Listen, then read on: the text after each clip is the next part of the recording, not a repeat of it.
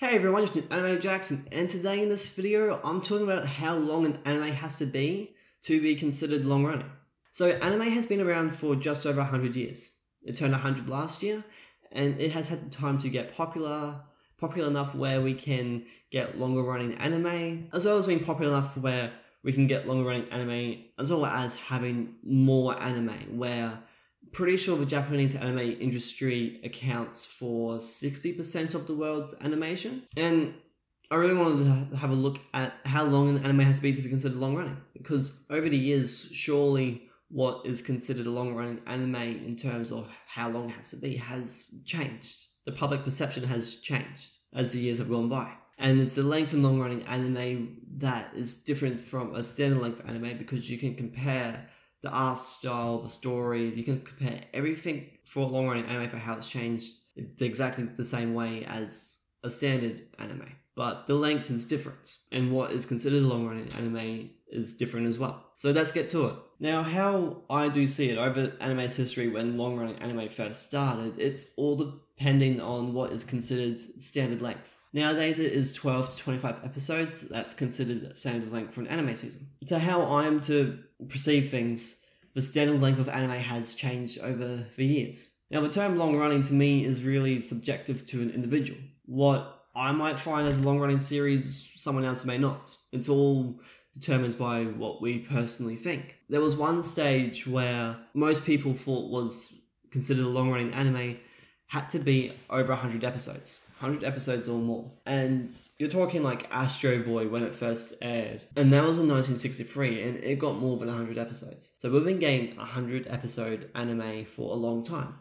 And well, yeah, okay, they are very long series. They last for years and years and years. And it's great that they've been able to achieve that. But times have changed and I'm not quite sure if the public perception has changed along with them. And that's not a bad thing. It's not. But hear me out so while in recent years, let's go with the late 90s to 2010, we finished Dragon Ball. We got One Piece, we got Naruto, we got Bleach, we've gotten Fairy Tail, and that's just naming a few. There's plenty more anime that we've actually gotten that has lasted over 100 episodes. Nowadays, we are seeing shorter anime seasons. And along with that, we're also seeing less anime that are getting over that 100 episode benchmark to be considered a long running series. And to how I see it, we might be looking at maybe 50 episodes or a year's worth of content. So Black Clover's going to have 48 episodes, and I'm picking Black Clover because it's the most recent example that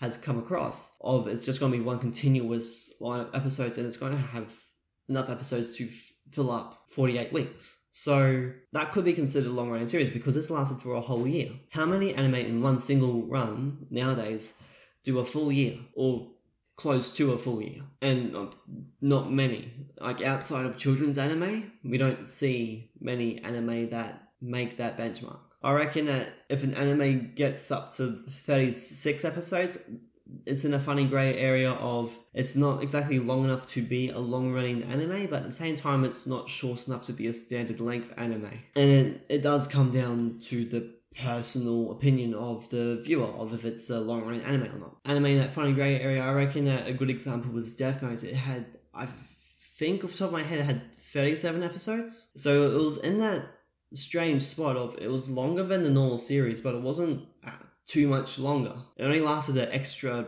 seasonal block longer than what the average anime did.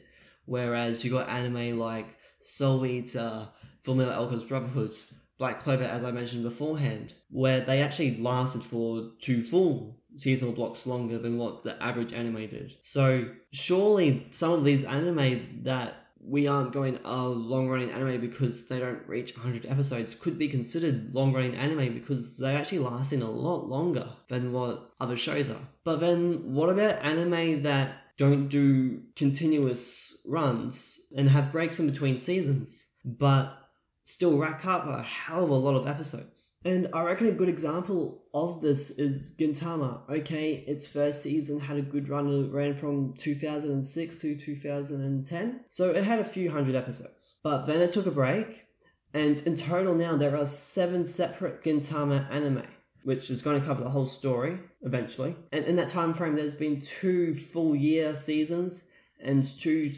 just single seasonal block seasons that Gintama has had, and however long the current arc is going to go for as well. So surely with anime like that, like that get a fair few different seasons and they have breaks, can be considered long running? Okay, like I said, the first season of Gintama could be considered long running. But what about the other six? Are they considered long running? But even anime, let's go with Bakuman. It got three seasons it was the manga was done by the same people that did Death Notes, and it has 75 episodes in total. It had three 25 episode seasons. It had 75 episodes in total. Why can't that be considered a long running anime? Like the total number of episodes are a fair bit. So as a franchise, why can't Bakuman be considered long running? Okay, it's only 25 episodes off that 100 episode benchmark where the public still sees is needed to be a long running series, but as a whole, Bakuman has lasted a lot longer than what some anime will ever get. So yeah, like as a franchise, why can't it be considered long running? Like, okay, it has had breaks in between its seasons, but where's the harm in that? It's like with Boku no Hero Academia. It's going to have its third season. If it ain't airing now, it's going to be soon. But it's going to have a fair few episodes in total. The same with Shokugeki no Soma. It's going to have a lot of episodes in total. Heck,